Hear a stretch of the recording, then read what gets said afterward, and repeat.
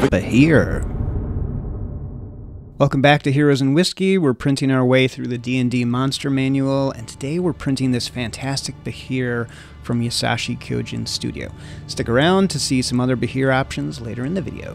What I love about Yasashii Kyojin is that many of their models look almost identical to the illustrations that are in the Monster Manual, and that is definitely true of this Behir right down to the pose. Uh, the claws are sharp, teeth are sharp, and it's a great contrast with the body, which is really unique.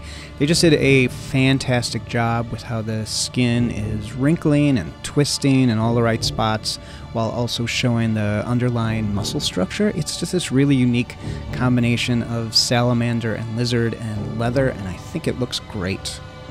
Some of the smoother spots did show a few layer lines because I print with anti-aliasing off, but if you were going to paint this true to color, I don't think that it would be an issue. Uh, the size also looks spot on. Adult Behirs are supposed to be about 40 feet, and that's what this guy is, nose to tail. And I love the pose. You can definitely picture it chomping up characters like the T Rex did to the lawyer in Jurassic Park no issues with the printing at all, no issues with the supports. There were plenty of places kind of along the, the bottom of the body to put uh, drain hole so I could hollow it out. Uh, it did not come with a base, and so I had to print my own uh, base. In terms of the resources, um, I, I, don't know if I just caught it at a good time, but uh, when I downloaded this, this model was actually free on MyMiniFactory.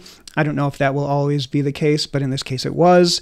Didn't use much resin, took about five hours to print, and so we are still at 68 bucks, and we are getting close to two full days of printing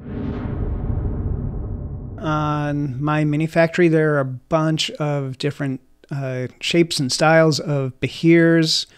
So here's one from Mammoth Factory. Uh, this is a super dynamic style, very uh, kind of serpentine, uh, very imposing. I really like this one. Uh, here's one from Lord of the Print. Uh, I, I, mean, I, I love Lord of the Print overall. This one feels very similar to the Basilisk we did in the last episode. And here's one from Pest Lucas. Yeah, I really like this one too. Uh, lots of lots of detail. They, those eyes are pretty cool, and the teeth. So, final thoughts. A great model. I wish it came with a base. The details are fantastic. Um, that that texture feels right for this, especially it's so close to the the image that's actually in the monster manual itself. So next time we're printing a D&D icon, the Beholder.